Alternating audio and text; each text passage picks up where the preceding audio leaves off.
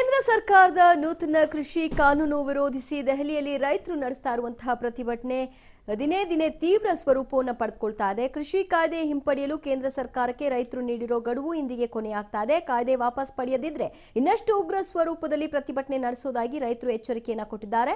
ಇಂದಿನ ಸಭೆ ಹಿನ್ನೆಲೆಯಲ್ಲಿ ರೈತರ ಡೆಡ್ಲೈನ್ ಮಹತ್ವವನ್ನು ಪಡೆದುಕೊಂಡಿದೆ. ಇಂದು ರೈತರ ಜೊತೆ ಗೃಹ ಸಚಿವ ಅಮಿತ್ ಶಾ ನಡೆಸುವ ಮಾತುಕತೆ ಸಾಕಷ್ಟು ಮಹತ್ವವನ್ನು ಪಡೆದುಕೊಂಡಿದ್ದು, ಪ್ರತಿಭಟನೆ ಶುರುವಾದ ಬಳಿಕ ರೈತರ ಜೊತೆ ಇದು ನಾಲ್ಕನೇ ಸಭೆಯಾಗಿದೆ ಹಿಂದಿನ ಸಾಧಾರಣ, ಸಂಧಾನ ಸಭೆ ಏನಾಗಿತ್ತು? ಅದು ಸಂಪೂರ್ಣವಾಗಿ ವಿಫಲವಾಗಿದೆ. ಹೀಗಾಗಿ ಅಮಿತ್ ಶಾ ಇಂದು ರೈತರ ಜೊತೆ ಸಭೆಗೂ ಮುನ್ನ ಪಂಜಾಬ್ ಸಿಎಂ ಕ್ಯಾಪ್ಟನ್ ಅಮರೀಂದರ್ ಸಿಂಗ್ ಜೊತೆ ಸಭೆಯನ್ನ ನಡೆಸಿಕೊಳ್ತಾರೆ.